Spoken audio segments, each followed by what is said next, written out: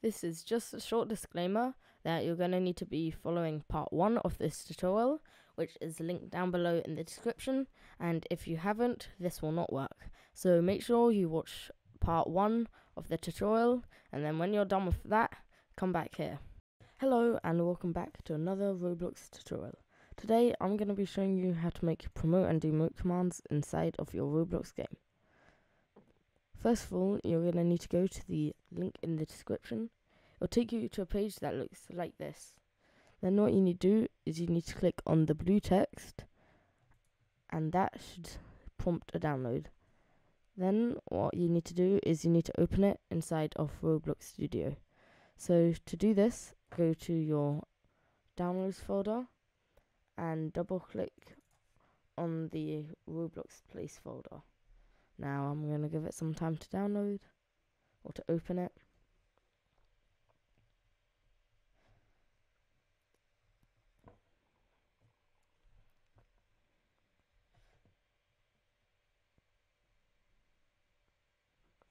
And now that it's opened, I can start to edit the main components of the system.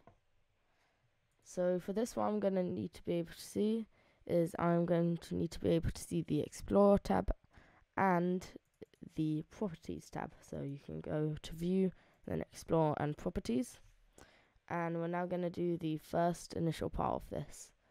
So to make sure everything works, you need to publish the game. I'm just going to call it Promote and Demote Commands. And then I'm going to create the place wait for it to load. And then, to make sure that this works, if it is not on green, make sure just HTTP make sure that it is definitely set to green and the slider is so on the right hand side. game settings, Otherwise, this will not work to under any circumstances. and then down to security, and then make sure allow HTTP requests is enabled.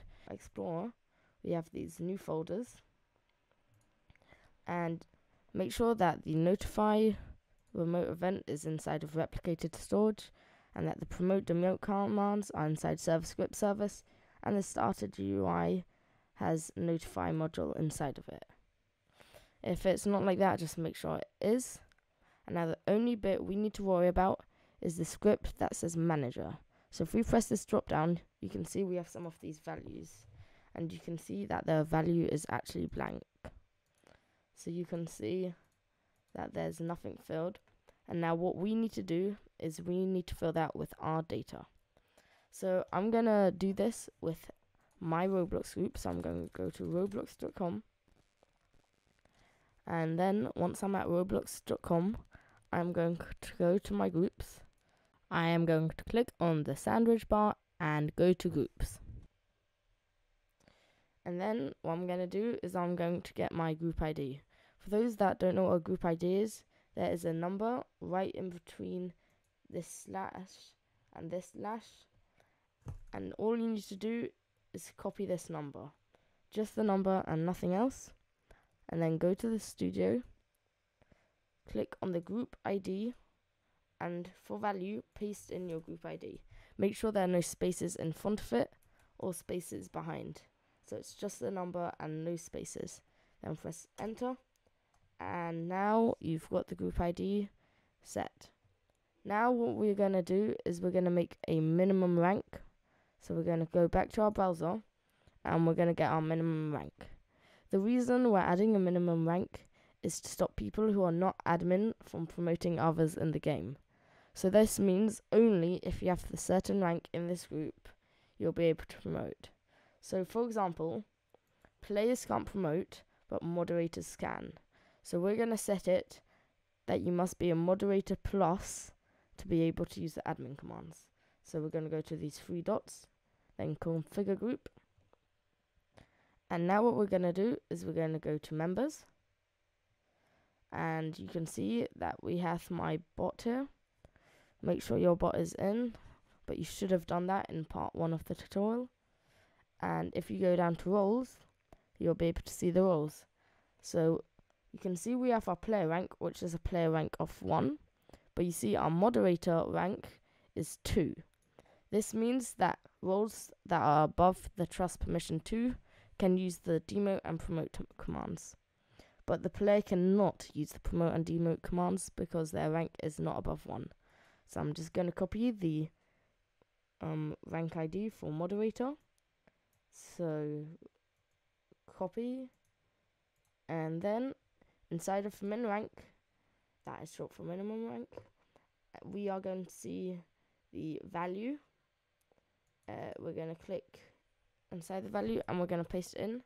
Once again, make sure it is only the number, no um, no spaces or anything else. Otherwise, it will not work once again. And we're going to enter. And now we've got our group ID and minimum rank down. So, so far, so good. So what we're going to do is we're going to now get to the server part of things. Okay, so you should have remembered from part 1 that we used a website called GitHub and we used a website from Heroku.com. So make sure you're both at these websites.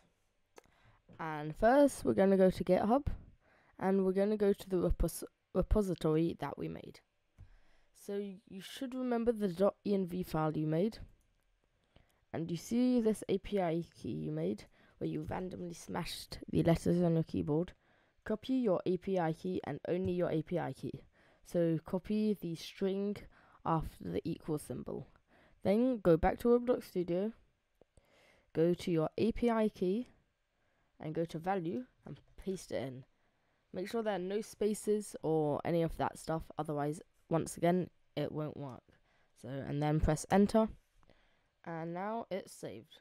So, the final thing we need to add so, to add the app URL, go back to your browser, go to your Heroku. This is my project I made. I'm going to click on it. Then, what you're going to do is you're going to click go to your settings, click on that, then scroll down and you'll see under the domains it says your app can be found at and then a link. Copy this link and make sure you contain the slash at the end. Go back to Roblox Studio.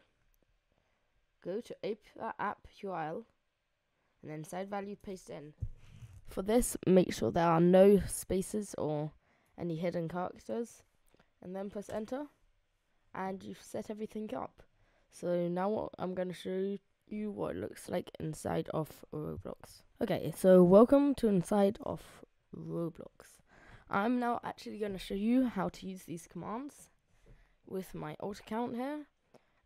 And hopefully after this your commands should be working and everything everything should be good.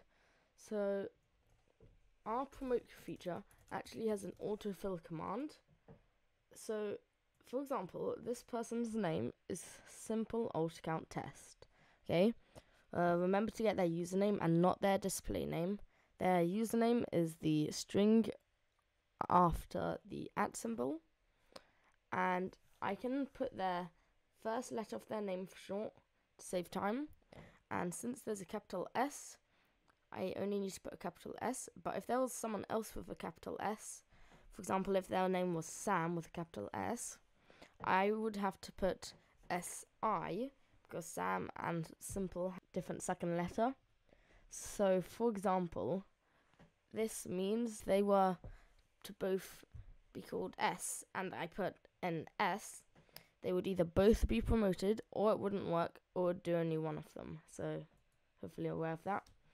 And now I'm going to demonstrate how to use this command. So, I'm going to say promote like this. And then what I'm going to do is I'm going to type in the beginning of their name, so S. And now you see a little notification comes up and it says, hurrah, we promoted the user. Now, if we go to the Roblox group, we can see that they have been promoted to moderator.